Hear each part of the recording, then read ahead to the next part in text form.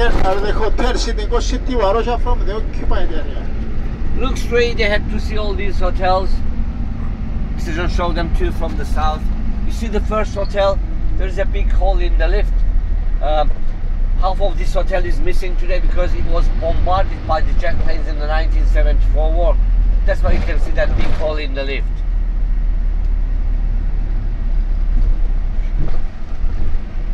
Look at this nice football stadium on the right. Which one? This one. This Famagusta. football stadium on the right was the municipal football stadium Famagusta. I was playing football on this stadium when I was 13, 14, 15 years. Wow. Bravo, Mr. John. Mr. John, be honest. Were you good at playing football? Were you scoring many goals? Uh, Be ye- honest. uh, yes, Mr. Ahmed, like uh, Messi. Messi. My goodness. I tell you what, he was messing around.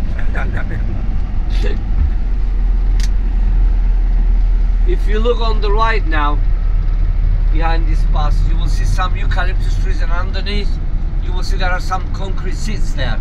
There was a big football stadium here, Mr. John, yeah? Yes, this football stadium was the Wembley football Oh, Wembley. You see anything you have in London, we have the small size of it here in Cyprus, the miniature. Look, you will see the entrance of the Ghost City there. We'll get inside in a minute. We're going to park the